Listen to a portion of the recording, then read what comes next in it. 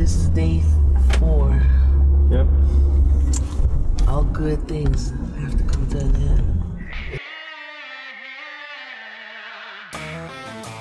Well, the power of the uh, mock-up for me was to be able to put myself in the person, the patient that's going through the entire process because I know that uh, what the patient expects and all the emotional uh, experiences that they're experiencing, uh, I now know I can connect with that.